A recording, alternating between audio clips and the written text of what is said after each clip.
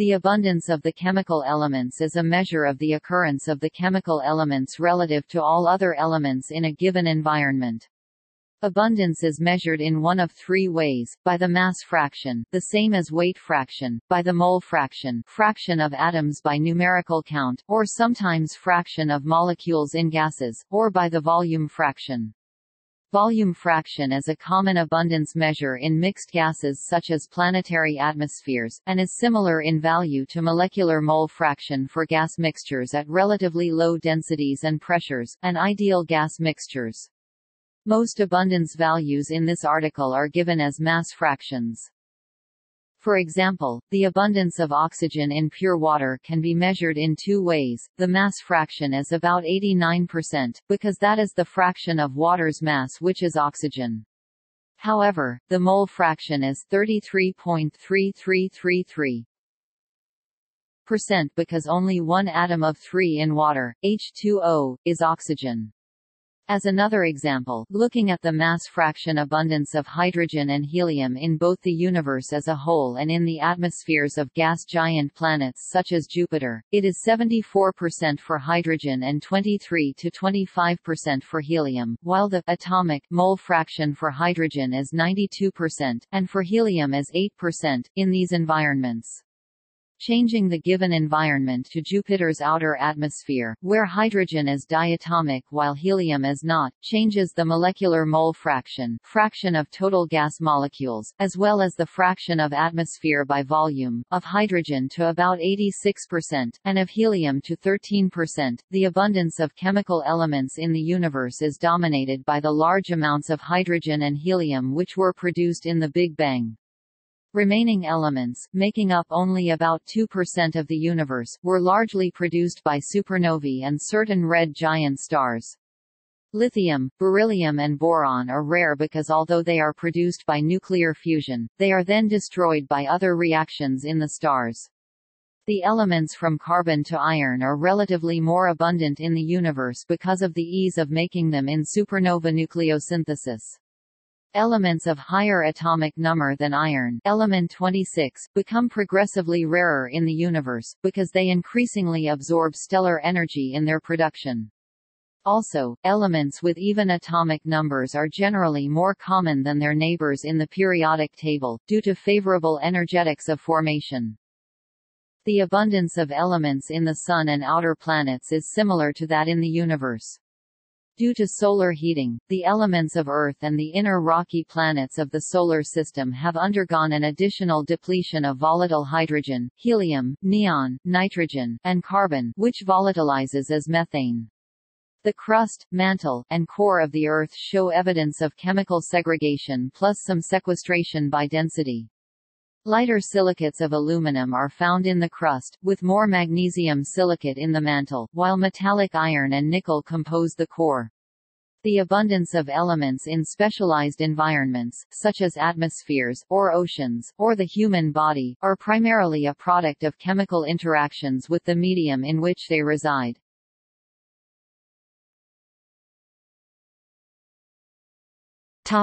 Universe The elements, that is, ordinary baryonic matter made of protons, neutrons, and electrons, are only a small part of the content of the universe. Cosmological observations suggest that only 4 6% of the universe's energy including the mass contributed by energy, e Topic. Mix squared left right arrow m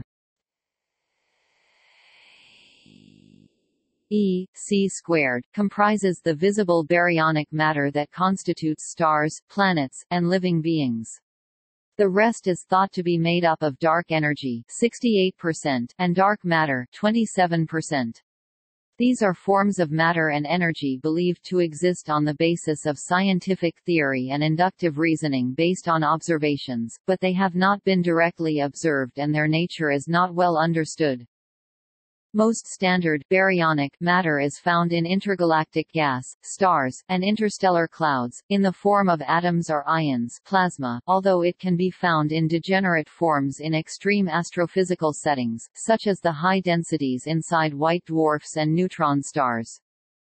Hydrogen is the most abundant element in the universe, helium is second. However, after this, the rank of abundance does not continue to correspond to the atomic number. Oxygen has abundance rank 3, but atomic number 8. All others are substantially less common. The abundance of the lightest elements is well predicted by the standard cosmological model, since they were mostly produced shortly i.e., within a few hundred seconds after the Big Bang, in a process known as Big Bang nucleosynthesis. Heavier elements were mostly produced much later, inside of stars. Hydrogen and helium are estimated to make up roughly 74% and 24% of all baryonic matter in the universe respectively. Despite comprising only a very small fraction of the universe, the remaining heavy elements can greatly influence astronomical phenomena. Only about 2% by mass of the Milky Way galaxy's disk is composed of heavy elements. These other elements are generated by stellar processes. In astronomy, a metal is any element other than hydrogen or helium. This distinction is significant because hydrogen and helium are the only elements that were produced in significant quantities in the Big Bang.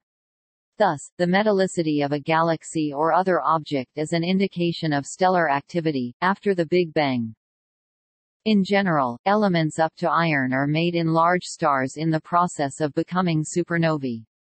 Iron 56 is particularly common, since it is the most stable element that can easily be made from alpha particles, being a product of decay of radioactive nickel 56, ultimately made from 14 helium nuclei. Elements heavier than iron are made in energy-absorbing processes in large stars, and their abundance in the universe and on Earth generally decreases with increasing atomic number.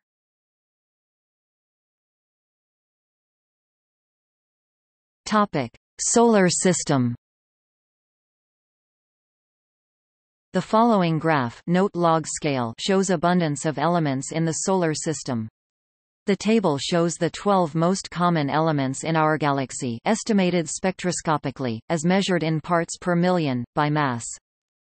Nearby galaxies that have evolved along similar lines have a corresponding enrichment of elements heavier than hydrogen and helium. The more distant galaxies are being viewed as they appeared in the past, so their abundances of elements appear closer to the primordial mixture. Since physical laws and processes are uniform throughout the universe, however, it is expected that these galaxies will likewise have evolved similar abundances of elements. The abundance of elements is in keeping with their origin from the Big Bang and nucleosynthesis in a number of progenitor supernova stars. Very abundant hydrogen and helium are products of the Big Bang, while the next three elements are rare since they had little time to form in the Big Bang and are not made in stars. They are, however, produced in small quantities by breakup of heavier elements in interstellar dust, as a result of impact by cosmic rays. Beginning with carbon, elements have been produced in stars by buildup from alpha particles helium nuclei, resulting in an alternatingly larger abundance of elements with even atomic numbers, these are also more stable. The effect of odd-numbered chemical elements generally being more rare in the universe was empirically noticed in 1914, and is known as the Oddo-Harkins rule.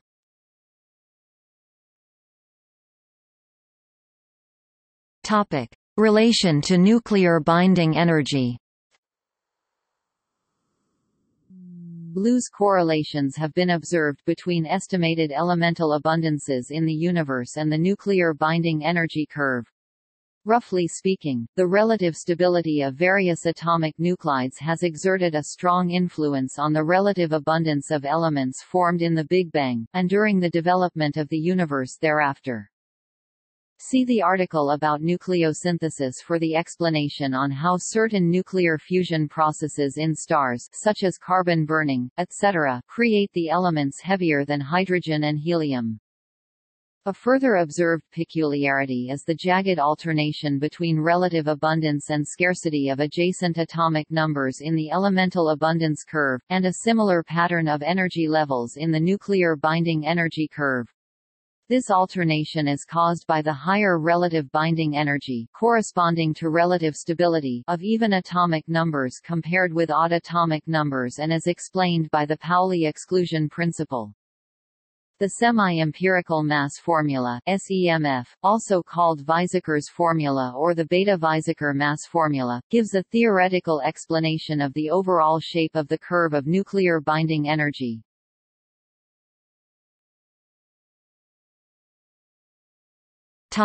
Earth The Earth formed from the same cloud of matter that formed the Sun, but the planets acquired different compositions during the formation and evolution of the Solar System. In turn, the natural history of the Earth caused parts of this planet to have differing concentrations of the elements. The mass of the Earth is approximately 5.98 times 1024 kg. In bulk, by mass, it is composed mostly of iron 32.1%, oxygen 30.1%, silicon 15.1%, magnesium 13.9%, sulfur 2.9%, nickel 1.8%, calcium 1.5%, and aluminium 1.4%, with the remaining 1.2% consisting of trace amounts of other elements. The bulk composition of the Earth by elemental mass is roughly similar to the gross composition of the Solar System, with the major differences being that Earth is missing a great deal of the volatile elements hydrogen, helium, neon, and nitrogen, as well as carbon which has been lost as volatile hydrocarbons.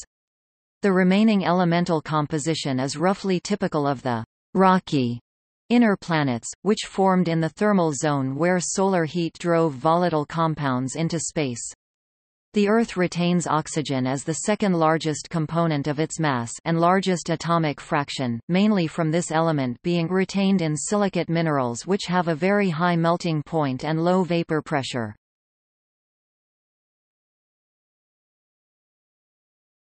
Topic: Crust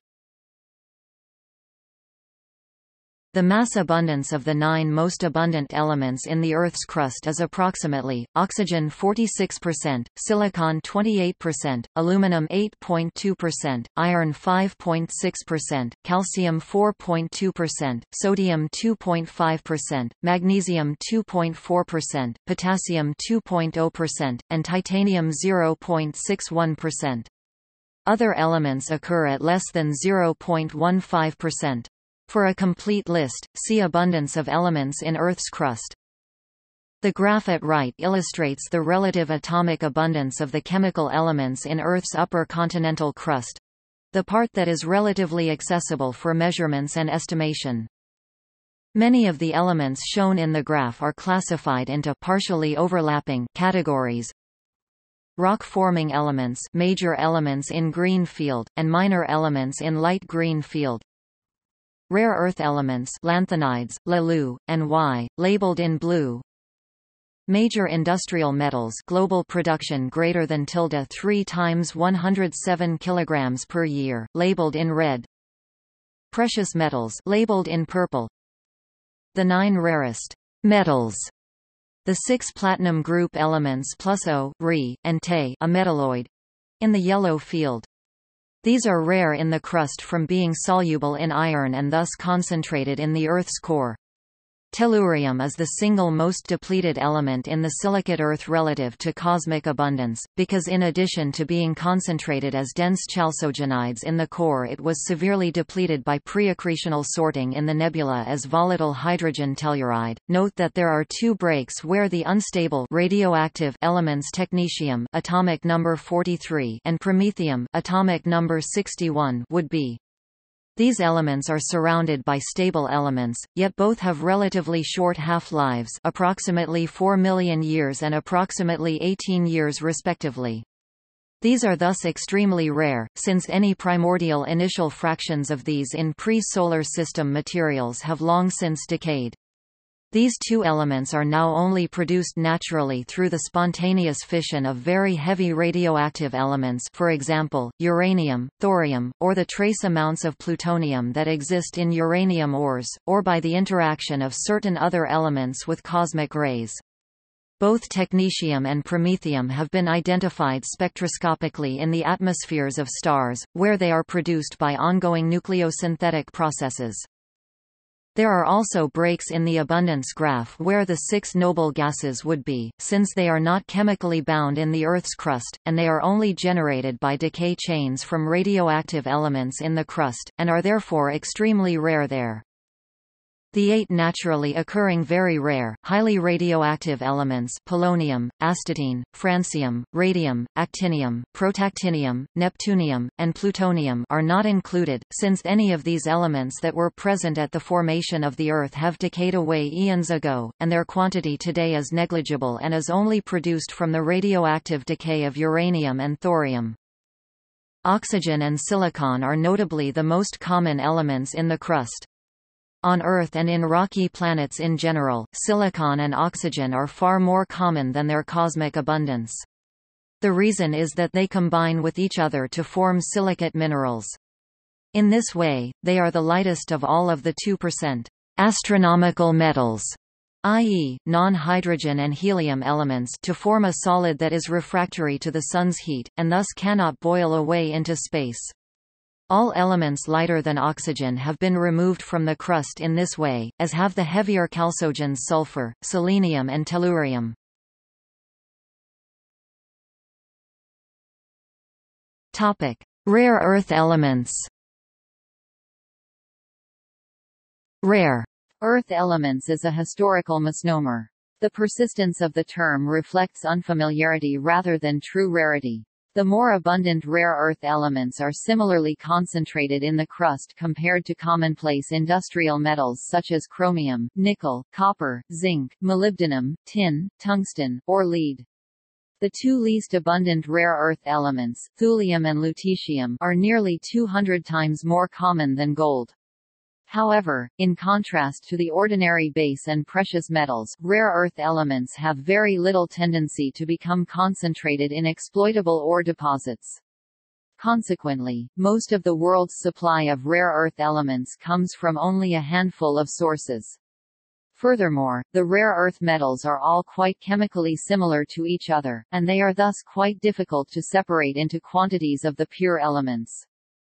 Differences in abundances of individual rare earth elements in the upper continental crust of the Earth represent the superposition of two effects, one nuclear and one geochemical. First, the rare earth elements with even atomic numbers 58 CE, 60 ND, have greater cosmic and terrestrial abundances than the adjacent rare earth elements with odd atomic numbers 57 La, 59 PR. Second, the lighter rare earth elements are more incompatible, because they have larger ionic radii and therefore more strongly concentrated in the continental crust than the heavier rare earth elements. In most rare earth ore deposits, the first four rare earth elements lanthanum, cerium, praseodymium, and neodymium, constitute 80% to 99% of the total amount of rare earth metal that can be found in the ore.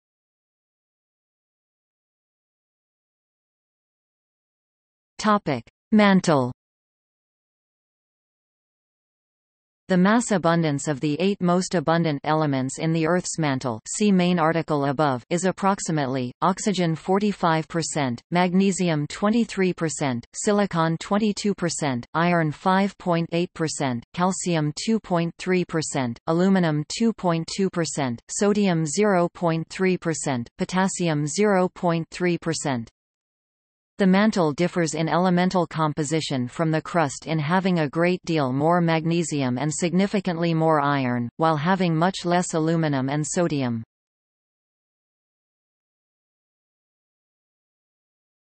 Topic: Core Due to mass segregation, the core of the Earth is believed to be primarily composed of iron 88.8%, with smaller amounts of nickel 5.8%, sulfur 4.5%, and less than 1% trace elements.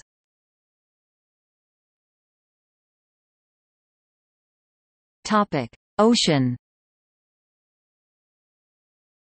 The most abundant elements in the ocean by proportion of mass in percent are oxygen 85.84, hydrogen 10.82, chlorine 1.94, sodium 1.08, magnesium 0.1292, sulfur 0.091, calcium 0.04, potassium 0.04, bromine 0.0067, carbon 0.0028 and boron 0.00043.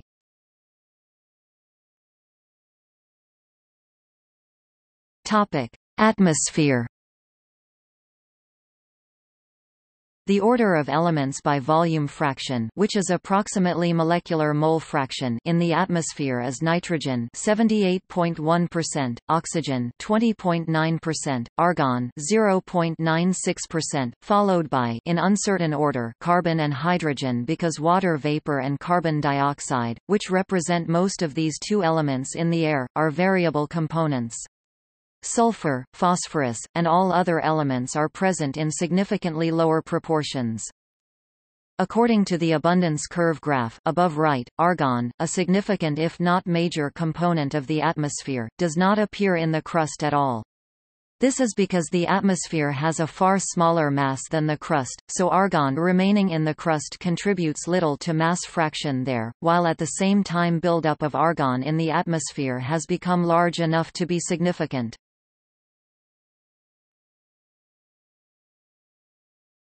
Topic: Urban soils. For a complete list of the abundance of elements in urban soils, see Abundances of the elements data page hashtag urban soils.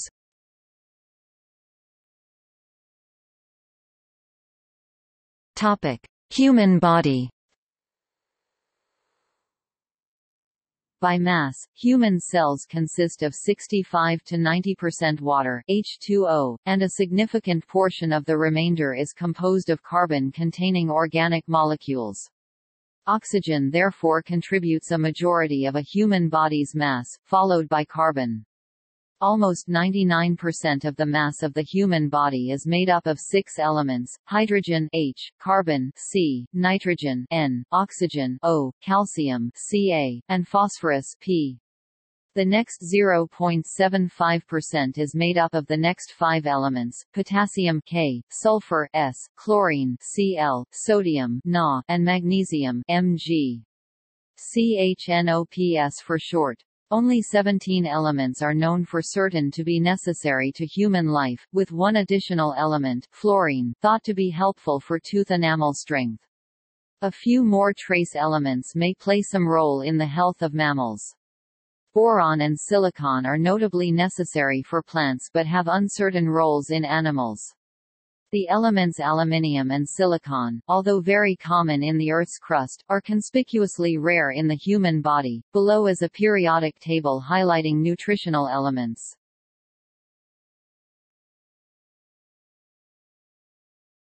Topic. See also